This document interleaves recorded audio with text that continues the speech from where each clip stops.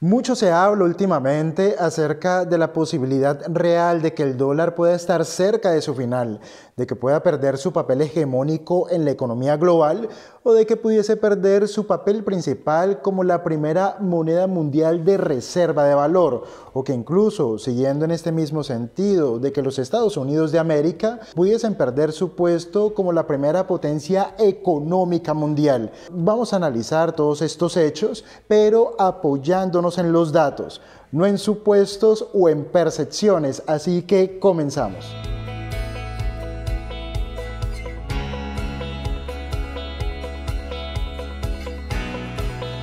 Para poder entender lo que está ocurriendo en este momento con el dólar, vamos a utilizar como trasfondo la crisis económica provocada por este bicho que ya todos conocemos.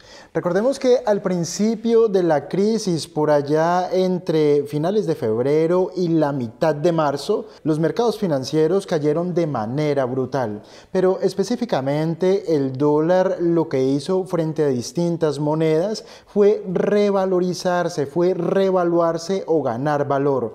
Como se aprecia en el siguiente gráfico, este primero, la relación entre el dólar y el euro, se aprecia claramente que entre febrero y marzo el dólar ganó valor. Ocurrió lo mismo, por ejemplo, si lo comparamos con otra moneda mayor como el dólar canadiense. El dólar gana valor frente al dólar canadiense y también gana valor frente al dólar australiano. Si realizamos este mismo análisis, pero con monedas pertenecientes a países emergentes, en este caso de países de Latinoamérica, observamos que el dólar también gana valor frente a divisas como el peso mexicano. Entre febrero y marzo gana valor frente al peso chileno, es el mismo análisis, y gana valor, por ejemplo, frente al peso colombiano.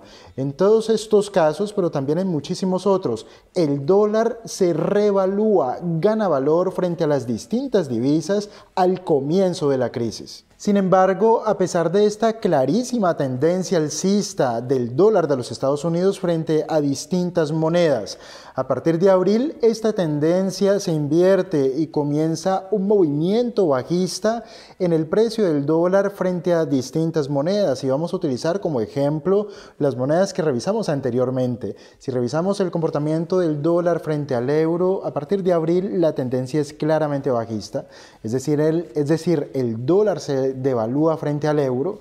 Igual análisis o igual conclusión si observamos el gráfico del dólar frente al dólar canadiense, tendencia claramente bajista, también frente al dólar australiano, tendencia bajista.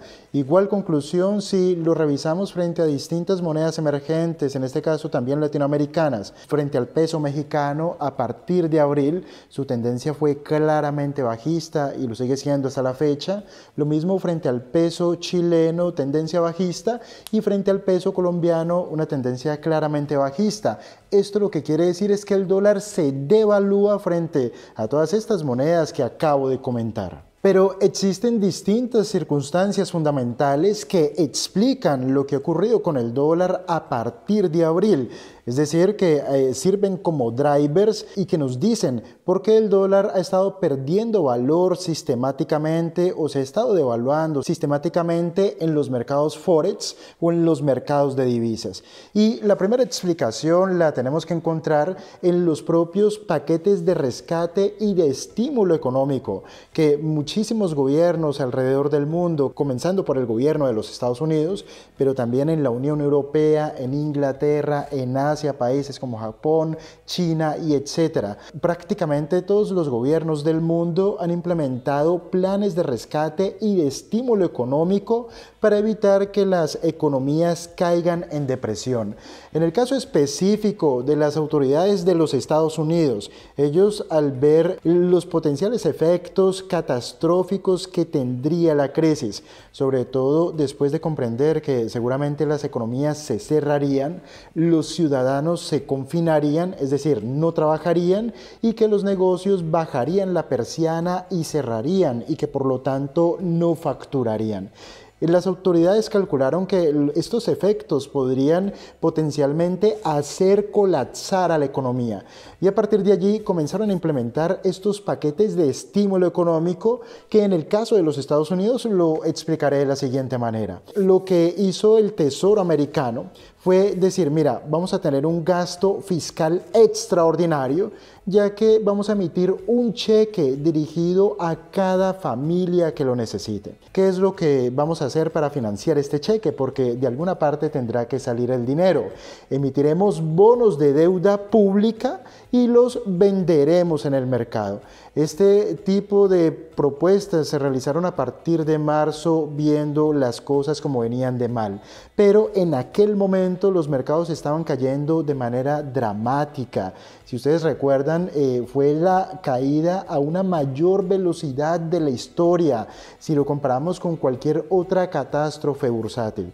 Eso lo que quiere decir es que si querías vender bonos de deuda pública, precisamente en ese momento era el peor momento porque habría muy pocos compradores. Lo que hizo el gobierno federal de los Estados Unidos fue llegar a un acuerdo tácito con la Reserva Federal, que es el banco central de este país. Y en este acuerdo, que es tácito, la Reserva Federal se comprometía a comprar todos los bonos de deuda pública emitidos por el gobierno. ¿De dónde obtendría el dinero para comprar estos bonos? Emitiendo dinero. Es decir, la Reserva Federal pondría a funcionar la máquina de impresión de billetes y con este nuevo dinero compraría todos los bonos que emitiese el gobierno hasta donde fuese necesario.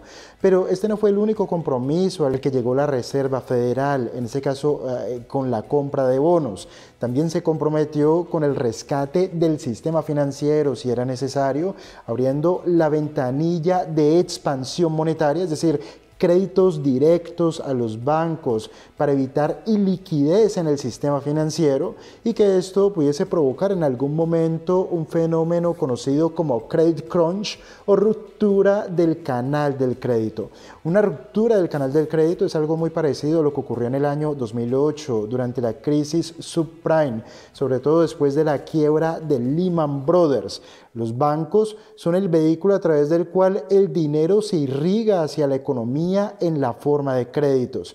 Cuando los bancos tienen, tienen una elevada percepción del riesgo, prefieren no prestar tanto dinero porque suponen que muy probablemente las familias, las empresas o incluso los gobiernos regionales en algún punto podrían verse incapacitados para devolver el préstamo y esto ocasionaría pérdidas a los bancos. Entonces los bancos dejan de prestar dinero.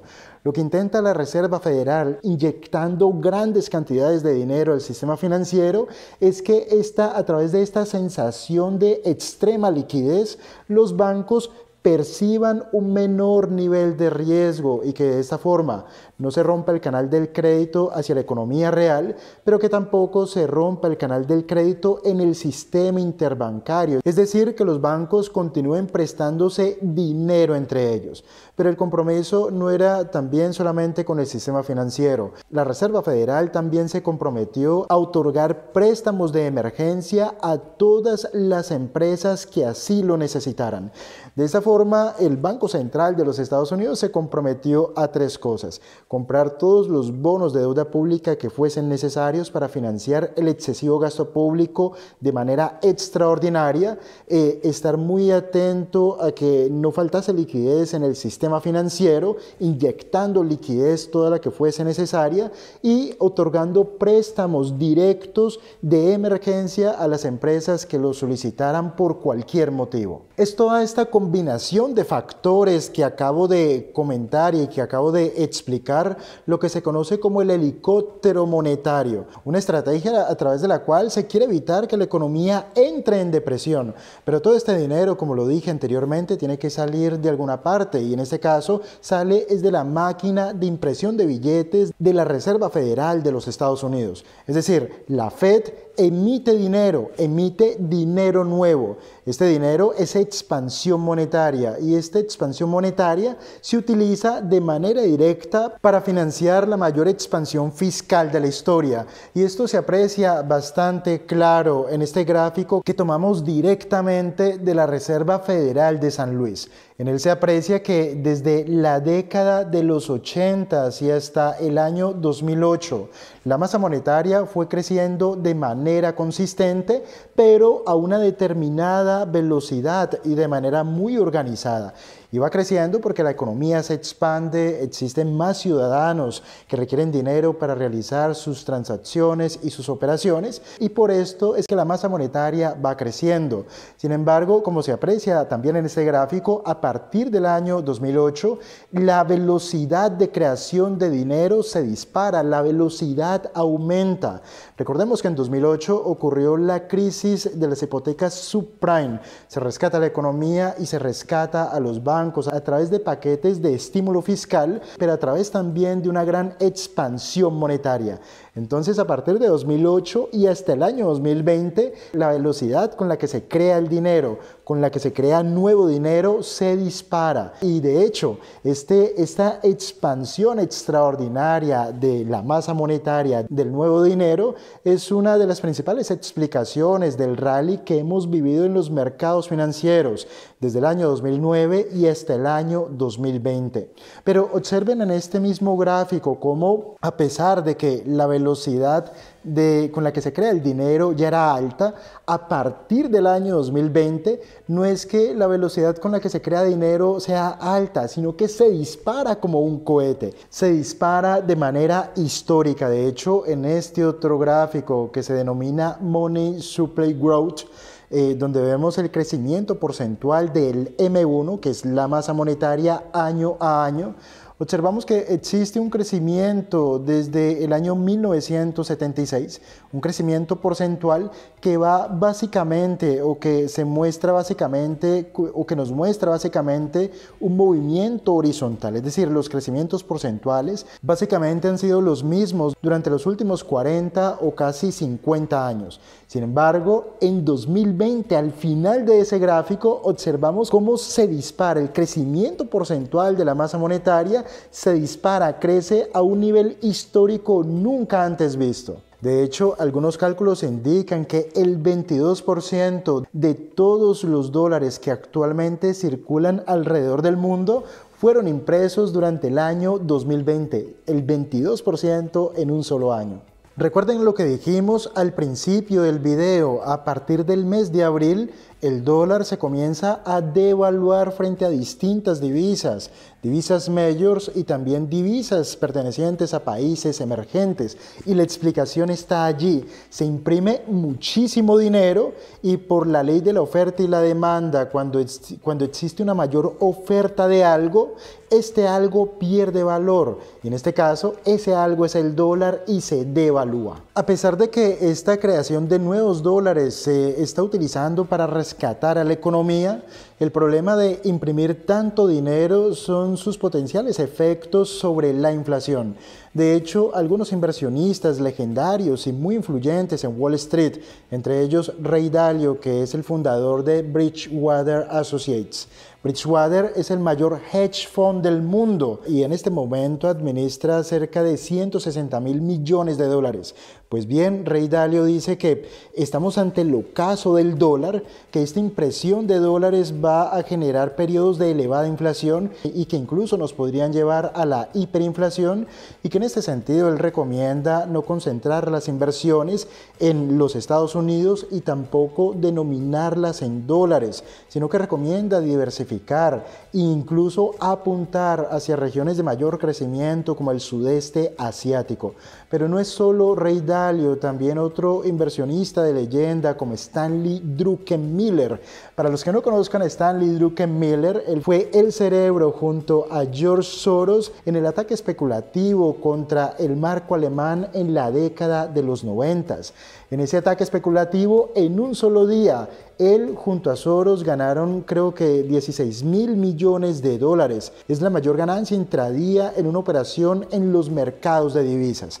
Stanley Druckenmiller dice lo mismo que Ray Dalio, que estamos en el ocaso o ante el final del dólar como la moneda hegemónica global y que incluso él dice que el dólar será reemplazado por monedas digitales como el Bitcoin. También podríamos mencionar a otro inversionista muy importante como Charlie Munger, que es el socio de Warren Buffett en Berkshire Hathaway. De manera textual, lo que dice Charlie Munger es que estamos muy cerca de comenzar a jugar con fuego, haciendo referencia a que en algún punto de esta creación extraordinaria de dinero podríamos enfrentarnos con la inflación. Si quieres dominar mejor todos estos temas que tienen que ver con las inversiones, te invito a realizar nuestro entrenamiento avanzado de Dividend Growth Investing. Es una técnica que a mí me ha funcionado de manera espectacular y que la llevo utilizando más de 15 años. Será un entrenamiento muy práctico y maravilloso. Aquí debajo te dejo un link con los detalles. Si tiene sentido para ti, te apuntas y nos veremos dentro. Recordemos que el dólar es una divisa fiat o divisa flotante. Esto lo que quiere decir es que no está anclada o no está indexada a algo que sea considerado como una reserva de valor.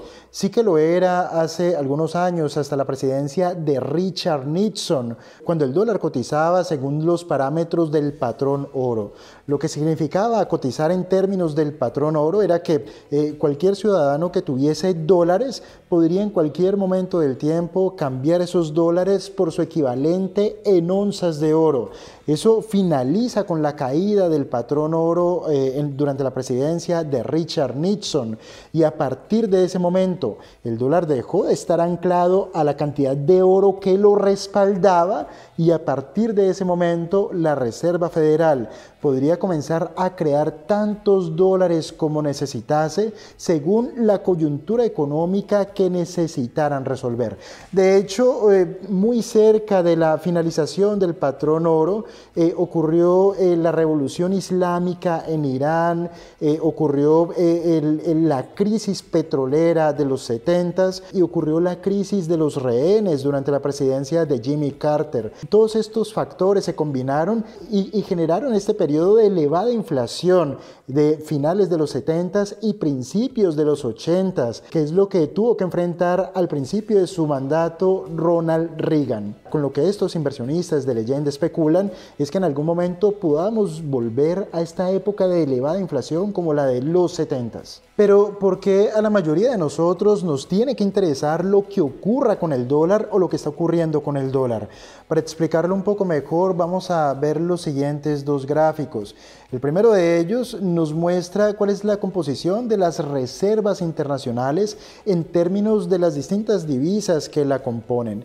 En este gráfico se observa claramente que el 62% de las reservas internacionales a escala global están denominadas en dólares. Las reservas internacionales lo, podemos, lo debemos entender como aquel ahorro que realizan los bancos centrales alrededor del mundo y estas reservas son lo que sirven como respaldo de su moneda local. También podemos utilizar otro gráfico para interpretar un poco mejor la importancia del dólar a escala mundial y es lo que representa en términos del comercio internacional. En este gráfico se puede ver que el 60% de las operaciones de comercio internacional que se realizan en el mundo se ejecutan utilizando dólares de los Estados Unidos. Es por estos motivos que si nosotros llevamos dólares cuando vayamos de viaje, independientemente del país al que viajamos, nuestros dólares serán aceptados, porque es la divisa hegemónica, es con la que más se realizan operaciones de comercio internacional y es la que se utiliza como respaldo en las reservas internacionales en mayor medida. El problema que podríamos llegar a tener si el dólar sigue perdiendo valor, tal como lo observamos en los gráficos del principio, que es esta tendencia bajista a partir de abril, y si además de esto entrásemos en, algún momento en un periodo de elevada inflación es que esto alimentaría la percepción de que el dólar ya no es un refugio de valor o ya no es una manera segura para atesorar riqueza, para conservar el valor de nuestra riqueza. De hecho, esa percepción cada vez se está alimentando y se refleja muy bien en el siguiente gráfico, que es el índice ponderado del comercio internacional que se realiza en dólares de los Estados Unidos. Como se observa a partir de marzo y con datos hasta principios de diciembre del 2020, su tendencia es claramente bajista. Sin embargo, a pesar de todo esto que acabo de comentar, desde mi punto de vista estamos muy lejos de un momento en el cual el dólar desaparezca o el dólar caiga. Y también creo que estamos todavía muy lejos de un periodo de elevada inflación por los siguientes motivos. El primero de ellos es que existe una ecuación denominada la función de demanda por dinero. Resulta que cuando ocurre una crisis se dispara la demanda por dólares. El dólar es un activo financiero como cualquier otro, pero es que además es un activo considerado refugio y es por ser considerado como un activo refugio que al principio de las crisis, no solamente de esta, de cualquier crisis, el dólar gana valor frente a las distintas monedas, porque los agentes económicos se refugian en el dólar y en activos denominados en dólares. Esto es lo que se conoce como un efecto de flight to quality. Esta es una condición muy particular del dólar, que sea un activo financiero en sí mismo y que además sea considerado como un activo refugio. Esta, esta es una condición muy especial que ni siquiera tiene el euro. Y es por esto que cuando ocurre una crisis, la función de demanda por dinero, pero en este caso la función de demanda por dólares se dispara.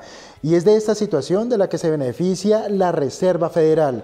La demanda por dólares se dispara y entonces ellos tienen un gran espacio, tienen muchísimo margen para imprimir muchísimos dólares sin que estos dólares sean excesivos en la economía y por lo tanto, a pesar de imprimir tantos dólares como la demanda por dólares se dispara, no tenemos presiones inflacionarias.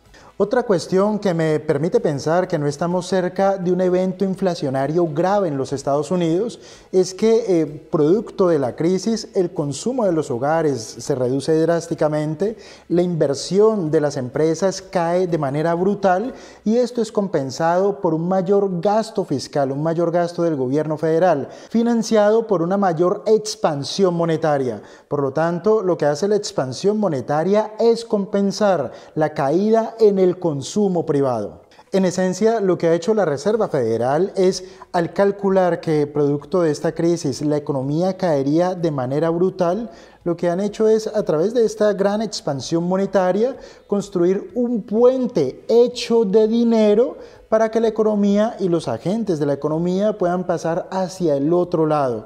Esto es lo que propicia que ocurra una recuperación en forma de V en la economía y de esta manera salvar la mayor cantidad de negocios posibles y, y evitar la mayor cantidad de despidos posible. Es un puente construido con dinero lo que se ha ejecutado. Antes de continuar, yo sé que eh, todos estos temas de economía a veces eh, son difíciles de entender. Por eso te quiero invitar a nuestro próximo entrenamiento, la economía en 15 lecciones.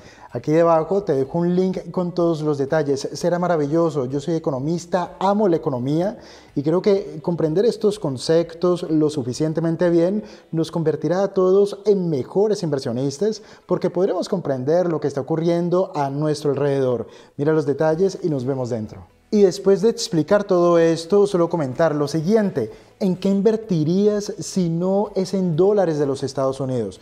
No invertimos en, el dólar por, porque nos gustan los dólares, invertimos en el dólar por lo que representa, por la economía que hay detrás. Pensemos en lo siguiente, solamente el estado de California es del mismo tamaño en términos de PIB que Alemania y Alemania es el país más grande de la zona euro. Los Estados Unidos es una economía gigantesca y la mayoría de nosotros invertimos en dólares porque nos interesa invertir en activos denominados en dólares. No existe un mercado financiero más amplio, más diversificado, más profundo y más líquido que el que se nos ofrece en los Estados Unidos. No hay ningún otro sitio de momento donde se puedan encontrar compañías pertenecientes a, a todos los sectores de la economía, donde podamos asumir riesgos en distintas situaciones a través de múltiples instrumentos financieros.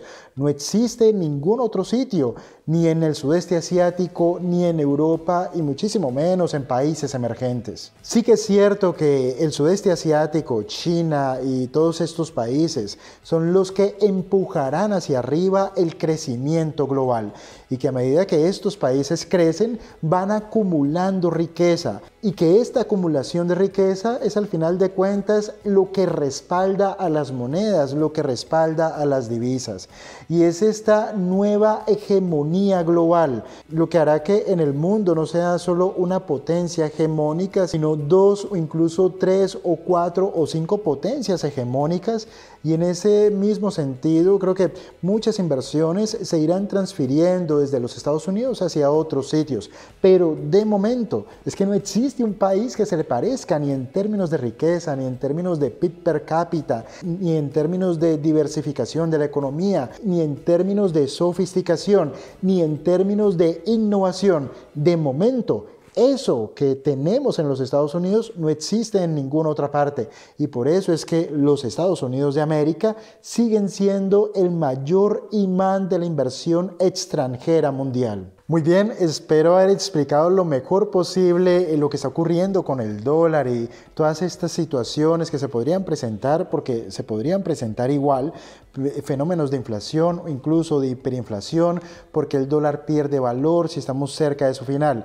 Si hemos logrado estos objetivos, entender estos conceptos, déjanos un pulgar arriba, comparte este video en tus redes sociales y considera suscribirte a nuestro canal si todavía no lo has hecho. Recuerda, recuerda, recuerda solicitar los 15 capítulos privados de nuestro curso gratis de bolsa. Son gratis, pero estarán disponibles solo por tiempo limitado. Aquí debajo te dejo un link para que observes los detalles. Lo solicitas y lo enviaremos a tu correo electrónico. Me despido y nos vemos en el próximo video. Hasta pronto.